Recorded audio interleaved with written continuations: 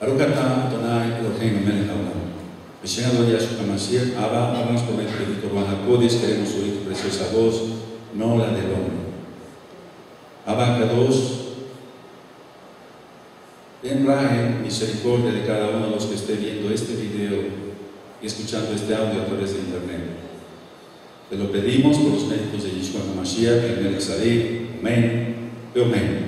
Sheba Kasha aquí, siéntense por favor hermanos, que le habla su servidor, doctor Javier Palacios Elorio, hoy pastor de la Keilah, Congregación Hanabe Shalom, Gozo y Paz, en Tehuacán, Puebla, México. Le invitamos de parte de todos a consultar la página de internet www.gozoypaz.mx. Usted encontrará videos, audios y apuntes que puede bajar, copiar y regalar con toda confianza. Nosotros aquí no hacemos negocio con la palabra de nuestro Ya es su nombre. Vamos a continuar el estudio de Israel, Apocalipsis, vamos al capítulo 20. Vamos al capítulo 20 de Israel, de Revelación. Aleluya. Yo voy a leer el capítulo 20 y ahorita voy a ministrar qué lo que quiere decir aquí la palabra de nuestro Elohim. Vi a un maná que descendía del Shamaí con la llave del abismo y una gran cadena en la mano y prendió al dragón, la serpiente antigua que es el diablo y Satanás y lo ató por mil años. Y lo arrojó al abismo y lo encerró y puso sus sellos sobre él para que no engañase más a las naciones hasta que fuesen cumplidos mil años y después de esto debe ser desatado por un poco de tiempo. Esto, voy a hacer un paréntesis acá, amado televidente, amado escucha esta página internet, amado Sabina. Esa es una pregunta que me hace mucho. ¿Por qué el Eterno permite que el diablo vuelva otra vez a estar suelto? Bueno, voy a adelantar un poquito la administración. El Eterno Yahweh en su fin permite esto para ver otra vez la fidelidad del hombre, pero vamos a ver en qué acaba en que acaba la historia de la humanidad. Y vi tronos y se sentaron sobre ellos los que recibieron facultad de juzgar, y vi las almas de los decapitados por causa del testimonio de Yeshua Mashiach por la palabra de Elohim, y los que no habían adorado a la bestia en su imagen, y que no recibieron una marca en sus frentes ni en sus manos, y vivieron y reinaron con Mashiach Yahshua mil años. Pero los otros muertos no volvieron a vivir hasta que se cumplieron los mil años. Esta es la primera resurrección. Muy dichoso y caroso que tiene parte en la primera resurrección la segunda muerte no tiene potestad sobre esto, sino que serán Juanín de Elohim y de Mashiach Yahshua y reinarán con él mil años. Cuando los mil años se cumplan, Hasatán será suelto de su prisión y saldrá a engañar a las naciones, subraya naciones, que están en los cuatro ángulos de la tierra, de Ares, Agog y Amagog, subraya, a fin de reunirlos para la batalla, en uno de los cuales es como la arena del mar, subraya y subieron sobre la anchura de la Ares, de la tierra, y rodearon el campamento de los Kadoshim y la ciudad amada, Shalem Y de Elohim descendió fuego de los Shamaim y los consumió. Y el diablo que los engañaba fue lanzado en el lago de fuego y azufre, donde estaban la bestia y el falso profeta, y serán atormentados día y noche por la eternidad, es decir, de Holanda. Y vi un gran trono blanco y al que estaba sentado en él, de delante del cual vieron la tierra, la Ares y los Shamaim, el cielo, para que se entienda, en ningún lugar se encontró para ellos. Vi a los muertos grandes y pequeños de pie ante Elohim y los libros, subrayan libros, fueron abiertos, abiertos está en plural, y otro libro fue abierto, el cual es el libro de la vida. Entonces hay varios libros, vamos a listar. Y fueron juzgados los muertos porque las cosas estaban escritas en los libros según sus obras, según sus obras. Y el mar entregó los muertos que había en él, y la muerte y el Hades entregaron los muertos que había en ellos, y fueron juzgados cada uno según sus obras. Recuerde, las obras cuentan mucho. Y la muerte y el Hades fueron lanzados al lago de fuego. Esta es la muerte segunda, y el que no se halló inscrito en el libro de la vida fue lanzado en el lago de fuego, al lago de fuego. Voy a ministrar. Cuando dice en el paso 2, empieza con y, quiere decir que lleva un orden cronológico del eh, capítulo 19. Recordemos en los temas anteriores, en los eh, capítulos anteriores de Fiscal, algunos nos llevan una cronología. Aquí sí, del 19 al 20. Entonces, el hecho de que diga y prendió, etc., lleva un orden cronológico, es una secuencia. En el capítulo 19 decíamos que Yeshua HaMashiach regresa y lanza al lago de fuego al antimashiach y al falso profeta, destruyendo su gobierno mundial Yeshua va a hacer eso. Y entonces se vuelve hacia Hasatán, Yeshua Hamashiach se vuelve hacia Hasatán y lo ata. Ahora, en el verso 4 vimos, dice, vi tronos y se sentaron sobre ellos y recibieron facultad de juzgar. Entonces, si ya sonó el shofar, quiere decir que es tiempo pasado. Anótenlo, por favor. Si ya sonó el shofar, quiere decir que hay ya un tiempo pasado. Entonces, ¿cómo explicamos esta resurrección? Para que se entienda. Otra pregunta. ¿Es al mismo tiempo del toque del shofar o después? Recordemos que después de la resurrección de Yeshua HaMashiach, de las primicias, resucitaron varias personas, pero volvieron a morir aquí en el en la tierra. Lázaro fue resucitado, pero volvió a morir aquí en el Ares, en la tierra. Los dos testigos ya habían resucitado y esto fue al toque del shofar, al toque del shofar. Entonces, una pregunta, estos del capítulo 20, del capítulo 20, verso 4, literalmente, anótenlo, resucitaron al sonido del shofar. O sea, todos igualmente van a resucitar al sonido del shofar. Entonces, la conclusión es que todos los justos serán levantados antes del milenio. Todos los justos, todos los adiquinos serán levantados antes del milenio. Ahora, realmente vamos a seguir entonces hacia nuestro por mil años. En el verso 7 y 8, en el verso 7 y 18, cuando los mil años se cumplan, Hasatán será suelto de su prisión y saldrá a engañar a las naciones. Voy a administrar porque dije que subrayar las naciones, que están en los cuatro ángulos de la tierra, de la Areza, Gog y. Entonces, para que se vaya entendiendo, porque debemos de tener también compasión, porque hay muchos hermanitos nuevecitos, muchos no, no conocen prácticamente nada, o conocen poco. Una vez que suceda la primera resurrección, y solamente los justos van a resucitar ahí. Entonces Yeshua va a reinar mil años, nosotros con él, y después del milenio es la segunda resurrección, el juicio del gran trono blanco. Entonces, cuando estamos aquí diciendo, está diciendo aquí, perdón, la palabra, cuando los mil años se cumplan, Satán será suelto. Esto es después de los mil años que Yeshua se va a reinar aquí en el Ares, en la tierra. Ahora, ¿por qué? ¿Para qué? vuelve a ser suelto Satán. Anoten, para probar la fidelidad, por así decirlo, de los habitantes de la, de la tierra. Esa pregunta, decía yo en el inicio de este tema, es la que más me hace por internet o por vía telefónica. O aquí los queridos aquí, los queridos hermanos. Entonces, ¿por qué es suelto? Dicen, ¿por qué si ya está datado, por qué lo suelta otra vez el Elohim? Para probar la fidelidad de los habitantes. Pero esta, esta, esta frase que voy a, a decirles a continuación, quiero que la noten tal cual. Sin embargo, qué triste decepción, anótenlo, que la gente hasta el final no quiera obedecer a Yeshua HaMashiach. La decepción va a ser tal que al final del milenio no quieren obedecer a Yeshua HaMashiach después de mil años de paz, de no guerras en el Ares, en la tierra, va a haber todavía gente rebelde. Ahora, recordemos acá, amados aquí, que aquí no se ministra la Tanaj para que estemos juzgando a otros. Y digamos, bueno, es que los de Israel fueron desobedientes o rebeldes en el desierto. ¿Y tú? ¿Y tú? ¿Y tú? ¿Y tú? ¿Y yo? ¿Estamos siendo rebeldes con el Elohim? Pero es que cómo es posible que después de mil años de paz, este reinado de Yeshua HaMashiach en el en la tierra, otra vez vuelva a haber eh, contubernio contra la Kedusha, contra la santidad. ¿Y tú? Ahora. ¿Y tú? Amado, amada. ¿Y tú? ¿Y yo? Es decir, que no, veamos, no vemos aquí la Tanán como una historia, porque no es una historia ficticia, es real todo lo que está sucediendo. Estamos viendo con sus propios ojos sino ponemos el dedo señalador a nosotros, nosotros mismos, ¿cómo estamos? Si después de mil años la gente va a ser igual de rebelde como ahora, nosotros analicemos cómo estamos ahora, porque ciertamente la bestia, y yo como si de repente está por salir después vendrá Yeshua HaMashiach. Entonces preguntemos cómo estamos, realmente igual que ellos en rebeldía, sí, nos vamos, te vas a levantar o ya te levantaste en rebeldía contra Yeshua HaMashiach y su bendita Torah, porque de la Torah viviente.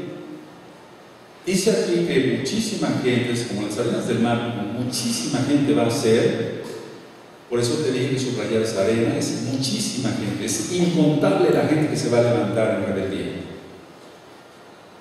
Ahora, la explicación es esta. La explicación es esta. Los que salgan de la gran tribulación y pasen por raja, por misericordia para que se entienda, por directamente vivos al milenio, ellos poblarán la tierra. Sin embargo, entre esa gente va a haber pecado. Y tú vas a decir, pero ¿cómo es posible eso? Recuerda, el Eterno permite todo. Ya fue la resurrección entonces aquí de los de los justos, pero el Eterno va a permitir que entre a la tierra. Él quiere seguir probando la fidelidad del hombre. Desgraciadamente el hombre, de la mayoría, no digo todos los, todos los hombres, pero la mayoría y todas las mujeres, la mayoría está reprobada.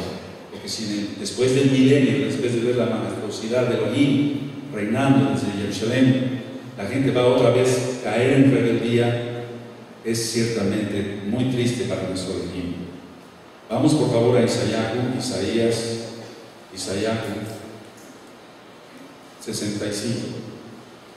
Recuerda que el pecado no fue aniquilado en el arca de Noé, de Noé, en el arca de Noé. Ahí iba una persona que no había pagado su concupiscencia y ese era Entonces, ni todo el diluvio y las fuentes de los shamaín, de los cielos y de lares de la tierra que dejó salir toda esa agua, todo el vapor de agua que rodeaba el ares la tierra, que cayó sobre el sobre la tierra, no fue suficiente para acabar el pecado. Pongámonos a analizar eso, amados, aquí en acá. Toda el agua que cayó de los Shemaim, toda el agua que cayó por el vapor de agua que rodeaba eso lo ministramos en la parasha primera, toda el agua que salió de las fuentes, de lares, de la tierra, no fue suficiente para acabar el pecado. Tampoco va a ser suficiente porque el hombre es rebelde por naturaleza, a veces peor que asno, dice la dice la Taná, a veces peor que asno. Ciertamente, a pesar de que se reine, Yeshua Mashiach reine mil años, va a haber todavía Cuando yo ministro el tema sobre lo que es el milenio, vamos a encontrar cosas que nos van a asombrar. Pues en Isaías 65, verso 18, sin embargo va a haber gozo para los Kadoshim en el milenio, para los Kadoshim va a haber gozo, para los santos, para que se entienda, para nuestros nuevos hermanitos. Isaías 65, verso 18. ¿Lo tienes, amado? Más os gozaréis y os alegraréis para siempre en las cosas que yo he formado. Porque aquí que yo traigo a Jerusalén alegría y a su pueblo gozo. Aleluya. Así que tú que eres Kadosh, que temes al Eterno, tú gozate. Tú exalta al Eterno en todo tu corazón. Aleluya. Tú danza. Bendito es Él. Dice el 18 otra vez, más os gozaréis os alegraréis para siempre en las cosas que yo he formado, porque aquí que yo traigo a Jerusalén alegría, no luto, alegría, aleluya, y a su pueblo gozo. Y me alegraré con Jerusalén y me gozaré con mi pueblo, y nunca más se oirá en ella voz de lloro ni voz de clamor. No habrá más allí niño que muera de pocos días, ni que sus días no cumpla, porque el niño morirá de 100 años, aleluya y el pecador de señas será maldito. Edificarán casas, se morarán en ellas, plantarán viñas y comerán el fruto de ellas. No edificarán para que otro eh, habite, ni plantarán para que otro coma, porque según los días de los árboles serán los días de mi pueblo, y mis escogidos disfrutarán la obra de sus manos. No trabajarán en vano ni darán a luz para maldición. Eso es importante porque son linaje de los benditos de Yahweh y sus descendientes con ellos. Y antes que clamen, responderé yo, mientras aún hablan, yo habré oído.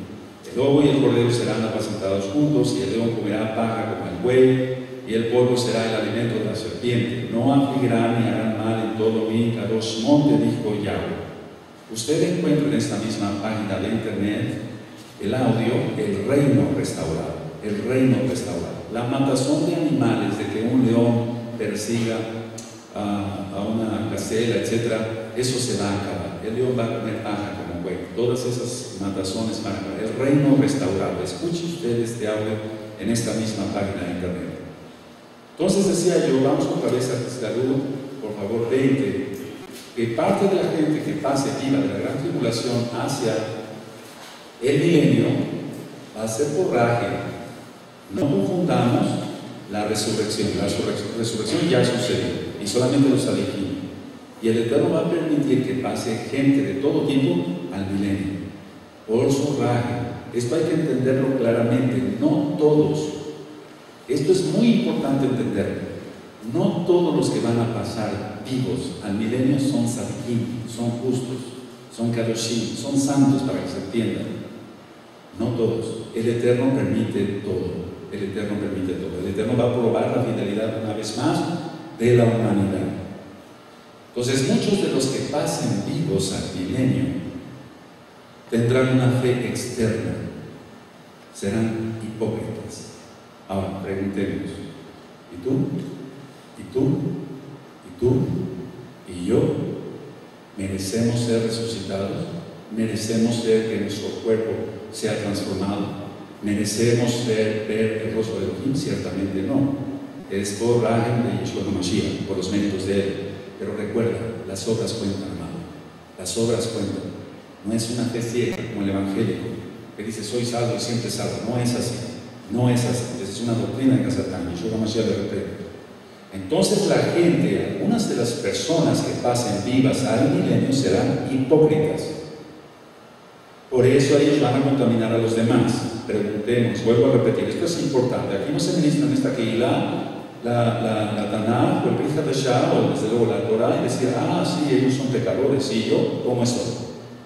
Si viniera Yeshua HaMashiach por mí hoy, ¿cómo estoy? Recuerde, no hay arrebatamiento. Consulte usted en esta misma página de internet los códigos bíblicos del 1 al 3. Pero me refiero, si el Eterno nos llamara que muriéramos, ¿a dónde iríamos hoy? Pongamos mucha atención. Ahora, voy a decir algo también importante.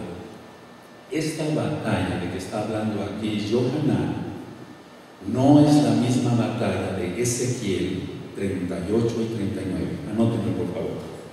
Porque esa es pregunta también me han hecho mucho. Bueno, si Gog y ya sucedió en Ezequiel, en Ezequiel 38 y 39, no es la misma batalla que la de Ezequiel, que está descrita en el capítulo 38 y el capítulo 39. Porque en el libro de Ezequiel, cuando veamos el, profeta Ezequiel, cuando estudiemos a profundidad ese libro, los ejércitos, vienen principalmente del norte e incluyen solo a unas pocas naciones del Ares, de la tierra. No se incluye toda la tierra, todo el todas las naciones. Vuelvo a repetir, en el libro de Ezequiel 38 y 39 los ejércitos que vienen son del norte pocas naciones son las que participan en esa batalla. En esta guerra final, anótenlo por favor, en esta guerra final de, de salud, Apocalipsis, Revelación 20, participan todas las naciones. Entonces vendrán de todas direcciones, no lo digo yo, lo dice claramente Natanael. Nada más es de algunas naciones, todas las naciones, por eso dije que subrayar las naciones. Entonces vamos a leer, voy a leer el verso 7 y 8 para que quede más cimentado el conocimiento. Cuando los mil años se cumplan, Satanás será suelto de su prisión, Yeshua reprenda, y saldrá a engañar a las naciones que están en los cuatro ángulos de la, de área de la tierra, Ago y Amago, pero no es la misma guerra que Ezequiel 38 y 39. A fin de reunirnos para la batalla, el número de los cuales es como la arena Ahora, ya entendiste ahora, amado, ah, con mucha atención, sin leer tu corazón acá, por favor, mucha, mucha atención, mucha, mucha atención. Ya entendiste ahora, usted ya entendió, amado televidente, amado, escucha en esta página de internet, aquí, amados hermanos, amadas hermanas, ya entendiste por qué el castigo será eterno, porque el hombre eternamente no se quiere arrepentir. ¿Y tú? ¿Y tú? ¿Y tú? ¿Y yo? ¿Cómo está nuestra vida hoy ante nuestro Elohim Yahweh? ¿Gobierna toda nuestra vida Elohim Yahweh, Yeshua Mashiach? ¿O parte de mi vida la reina del enemigo? El Eterno no lo permite. ¿Cómo está tu relación con los demás aquí? ¿Cómo está tu, relación con las demás Ahayot? ¿Cómo está en primer lugar tu relación con Elohim Yahweh? ¿Cómo está mi relación con Elohim Yahweh? ¿Tengo viajar? ¿Tengo comunión con Él? Si yo le pido algo por la inmensa raíz de Él, por los méritos de Yeshua HaMashiach, me lo concede, me escucha mi tefilá, es grato mi ayuno, es grato mi caminar en la calle, mi mirar en la calle es grato a Elohim. Tenemos que pensar eso porque las cosas se están poniendo mucho, mucho, muy feas y se van a poner peor. Tenemos que entender eso, amado. Aleluya. Aleluya. Recuerda, es una novela de Dios. Perdóname la expresión. Es lo que va a suceder y pronto, muy pronto, muy, mucho, muy pronto. Entonces, yo sé que en esta congregación, en esta vida, hay muchas almas que temen de veras a Elohim. Yo temo a. Y temo de veras. Y tiemblo, tiemblo su presencia. Pero hay almas que todavía no se han cimentado. Cimiéntate, papito, y rápido. Mamita, rápido, rápido. Maer, rápido, porque el Eterno ya viene. Todo eso que se dio hoy, estoy seguro que mucha gente a la hora del temblor si es mesiánico, Mishikili haber dicho, eh, Yeshua, por favor, protégeme. Estoy seguro. Pero estoy seguro también de esto y no me equivoco, no estoy loco. Estoy seguro que al minuto ese que se dice mesiánico ya estaba pecando en su asquerosamente. Estoy seguro de eso. No todos. No estoy hablando de la caída en total. Pero estoy seguro de eso. Porque conozco cómo piensa el hombre. Conozco cómo piensa el hombre en menos de un minuto, esa persona ya está pensando mil barbaridades. Pensemos realmente entonces, a la redundancia, si estamos guardando bien la Kedushá, la santidad, perdóname la expresión, para que se entienda, que lo que se ha ministrado acá, temer ante su presencia. Queremos ser guardados de la gran tribulación, amén.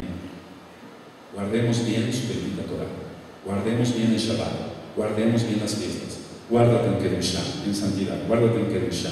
No peques, y con el pensamiento. Y si viene un mal pensamiento, quémalo antes de que llegue. Antes de que salve de quémalo al fuego del Bajacodes. Aleluya.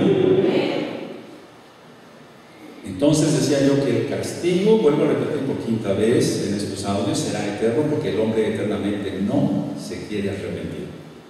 Ahora, en la batalla de Ezequiel 38 y 39, no se menciona a Hazatán aunque también orquesta, orquesta esas guerras.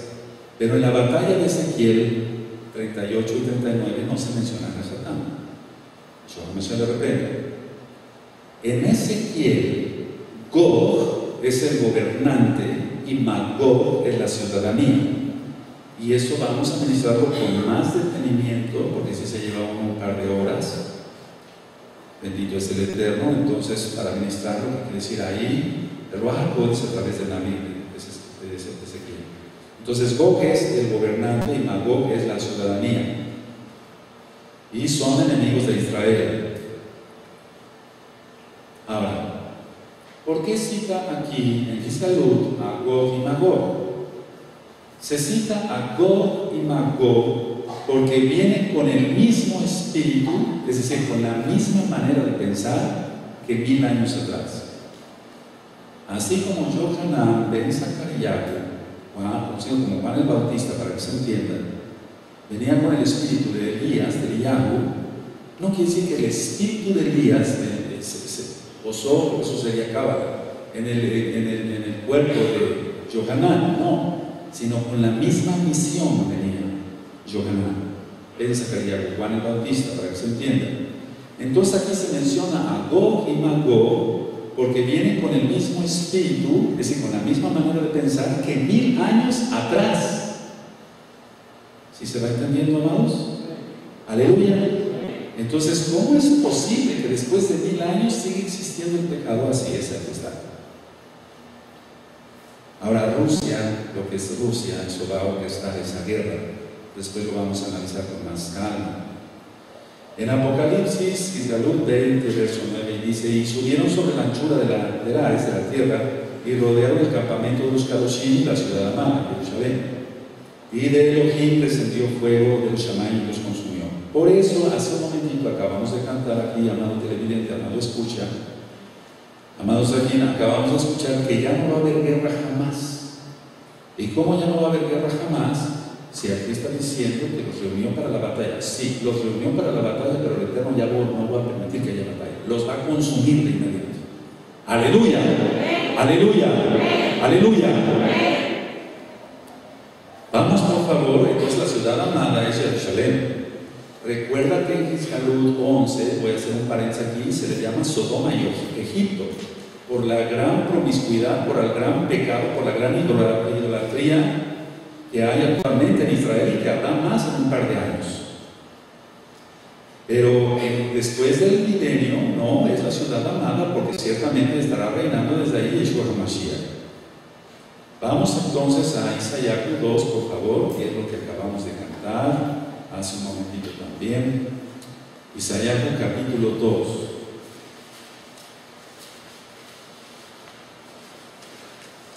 Isaías 2, verso 1 al 5. Cuando lo tengan me dicen un momento, te gozas.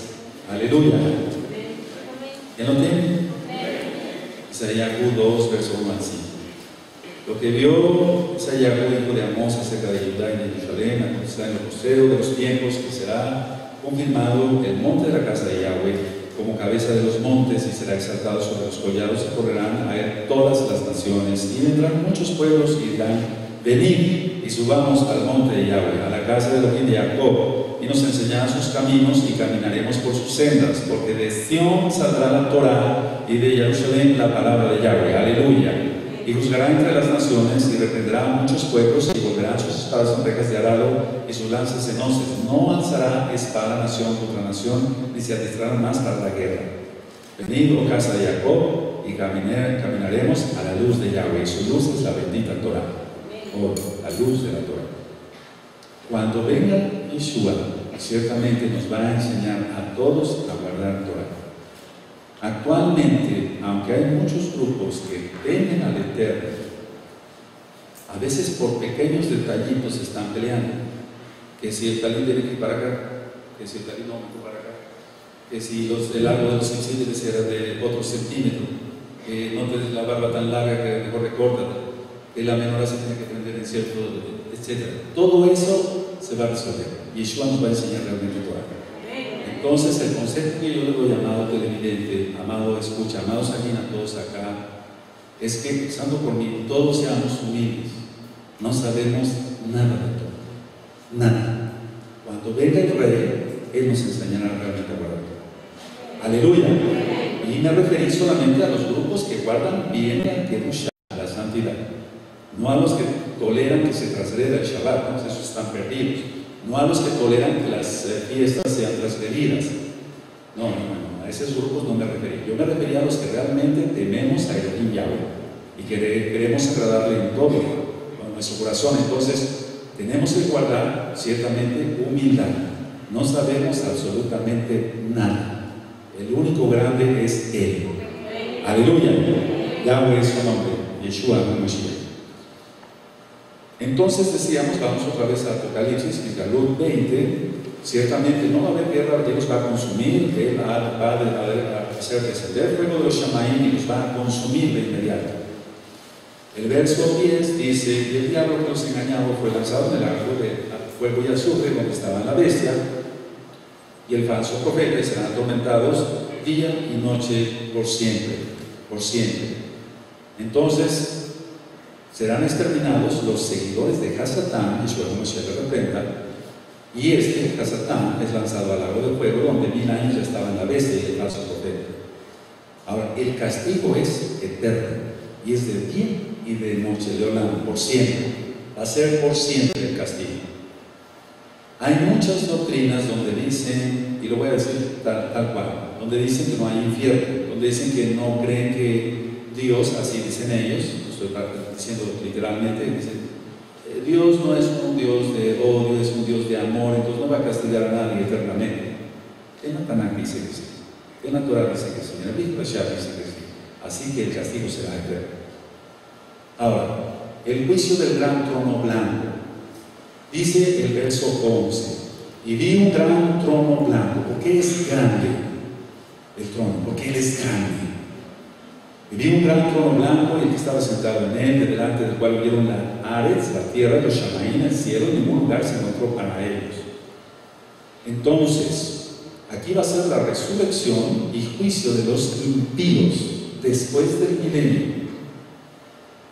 Anótenlo, por favor, si no, no se anota, para los que no saben, si no se anota, no se aprende.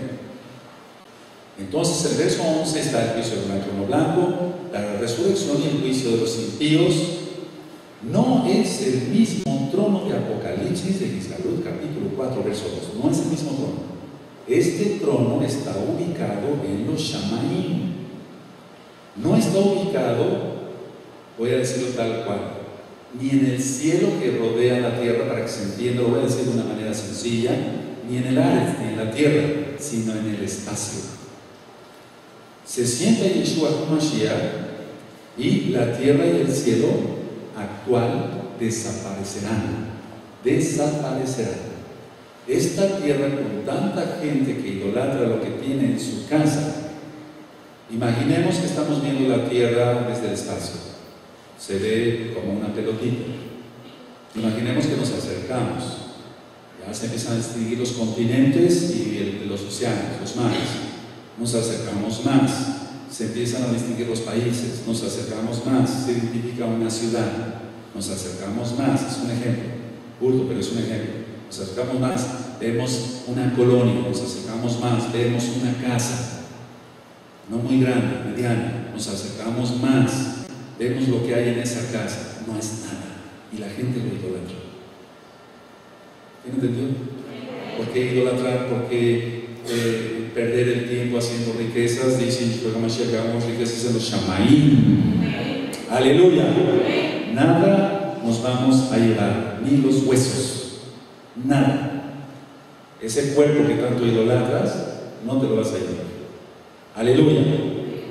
Ahora, decía yo que no está ubicado en los Shamaim, ni en la tierra, ni en el aire, sino en el espacio. Entonces se siente Yeshua HaMashiach y el Ares, la tierra desaparece y los cielos actuales desaparecen. Ahorita voy a ministrar. Vamos por favor a Matillaco, a Mateo 24. Usted encuentra, amado televidente, amado escucha esta página de internet. En esta misma página, para redundancia de internet, encuentra usted el audio de Matillaco, de Mateo, las palabras de Yeshua Mashiach. Vamos a Mateo 24, por favor. Aleluya. Entonces, ¿por qué idolatrar? ¿Por qué idolatrar la ropa? ¿Por qué idolatrar el cuerpo? ¿Por qué idolatrar lo que has hecho? No digo que con pecado, con tu trabajo honrado, no idolatremos nada. Lo único que vale la pena es fijarse en los Shamaim, en la Nueva Jerusalén. Matillaco 24, verso 35, dice, cuando tengan Matillaco 24, 35, me dice, los Shamaim de Ares y la tierra pasarán, pero mis palabras no pasarán. Entonces los Shamaim van a desaparecer. Y la tierra también va a desaparecer. Muchos dicen que no. Muchos dicen que esta tierra va a ser eterna. No dice eso la Torah, ni la Tanakh completa los profetas, no lo dice Yeshua HaMashiach en primer lugar, no lo dice Gizgalut, no lo dice nada. No, la tierra va a desaparecer. Esta tierra va a desaparecer. No es por siempre. Ahora, anoten esto por favor, vamos otra vez a la salud 20 y esto que les voy a, decir por favor, anótenlo tal cual, te va a servir. Debido a que el pecado entró en la tierra, lo voy a decir tal cual para que se entienda, en la tierra, debido a que el pecado entró en la tierra, Me dicen cuando pueda continuar, porque es importante esta frase. Debido a que el pecado entró en la tierra, en la red, y el hombre, y el hombre lo ha querido preservar, o sea, ha querido preservar el pecado, le hace bien, le hace bien, le hace bien. Debido a que el pecado entró en el área, en la tierra, Y el hombre, el hombre lo ha querido preservar, el hombre ha querido preservar el pecado del adulterio, la lujuria, la fornicación, etc. Por eso Yahweh destruirá la tierra, para que se entienda. El hombre ha querido preservar el pecado. Recuerda esto. Si después de los mil años que está reinando Yeshua HaMashiach, va a haber pecado todavía, se van a levantar contra el gran rey, el Melech el rey de justicia, debido a que el hombre lo ha preservado, el eterno Yahweh Sabaoth, su nombre, él va a destruir la tierra, la tierra. Vamos otra vez a salud, por favor, ahí 20, en Apocalipsis 20, y para que ese juicio del gran trono blanco, para juzgar a los muertos y los libros fueron abiertos. La Torah va a ser abierta. La Tanaj completa va a ser abierta. A eso se refieren los libros. El libro de memoria va a ser abierto. Recuerden, en Malaquías hay un libro que el Eterno Yahweh hizo y se llama el libro de memorias. Usted encuentra ese audio en esta misma página de internet. El libro de memorias, así se titula el, el audio. El que no mencione su Shem su nombre grande, no será salvo. Hay que mencionar su nombre. A una persona aquí en la área, en la tierra, si usted, vamos a suponer que este estuche de sincero y reverente, voy a poner este ejemplo, fuera una persona, y yo ya conozco que se llama Jorge, si después de 10 veces yo le diciendo, oye tú, oye tú, él me va a decir, espéreme tantito, doctor, hábleme por mi nombre. Eso no encuentra usted en el del libro de memorias. Hábleme por mi nombre. Mi nombre es Jorge, que no será la Su nombre es Yahweh. Ciertamente hemos ministrado el consejo rabínico y no de ahora, antes de la Yeshua fue cercando los mandamientos con mandamientos creados por hombres. A eso se refiere Yeshua con la tradición. Y ellos quitaron el nombre, cuando Yeshua Mashiach dice, ustedes quitaron la llave del conocimiento, está refiriendo al nombre. Entonces, por eso dicen Hashem, Hashem, el nombre, pero ¿cuál nombre? Su nombre es Yahweh, y hay que pronunciarlo, hay que pronunciarlo. Ese libro también va a ser abierto, ese libro también va a ser abierto. En el juicio del trono blanco, entonces se van a juzgar las obras de las personas. Y decía yo un poquito antes de entrar en Shabbat, pero anótenlo por favor, la determinación de quién es salvo no se determina en los Shamaim, no se determina en los cielos para que se entienda, se determina en el aire, en la tierra. No pienses que alguien aquí se muere y que llega de repente al cielo le van a decir ahí Pedro, Kefas, no, porque es catolicismo romano. Recuerda, que tienes que quitar todo lo greco-romano, todo absolutamente. Y te va a decir, bueno, si tú eres salvo, pasa a saludar al rey. No, eso no existe. Por favor, tenemos que quitarnos esa mentalidad totalmente. Porque muchos siguen pensando así, no acá, pero a nivel mundial sí. Me he topado con eso. Entonces, la determinación de quién es salvo no se determina en los shamaim, sino aquí, aquí hay características para los salvos. Ver quién es salvo, eso voy a decir dentro de poquito. Para que cada quien ponga en la balanza cómo está tu vida ante el Eterno. Entonces, la determinación es en la tierra, en lugares, no en los cielos. Entonces, aquí lo que se revela en el juicio del gran trono blanco es la confirmación del destino de los individuos. Voy a volver a repetir. Lo que se revela es la confirmación del destino de los individuos por medio de los registros escritos por el Yahweh, los libros, la Torah, el libro de la vida, el libro de memorias. Dice aquí que el mar, la muerte y el Hades, es el lugar de tormento provisional, va a entregar sus muertos. Y entonces Yeshua Mashiach va a lanzar al lago de fuego. La declaración cuando dice aquí el mar en el verso 13 dice, y el mar entregó los muertos que había en él, y la muerte del Hades, entraron los muertos que había, había, en ellos, y fueron entre, fueron juzgados cada sus obras. Entonces el mar. La declaración del mar no se está refiriendo aquí a multitud de gente, sino al mar como tal. Al mar como tal. Recuerden, en el milenio todavía va a haber mar, después el mar va a desaparecer. Entonces no importa cuánto se haya desintegrado un cuerpo en el mar, se fue comido por un tiburón, voy a poner un ejemplo muy, muy, muy burdo. O si naufragó un barco y se perdió hace miles de años, no importa eso. El eterno Yahweh, nuestro Yahweh, juntará molécula por molécula de ese cuerpo, lo unirá a su espíritu y a su alma para juzgarlo. Para él nada, nada imposible, amados. Este poder tiene nuestro Elohim, Yahweh Sebaot, Elohim de los ejércitos y mucho más. Aunque ese cuerpo tenga 5.000 años de desintegrado en el mar, ya aparentemente no hay una molécula, el Eterno lo va a reconstruir. Aleluya. Ahora, el lago de fuego es un misterio.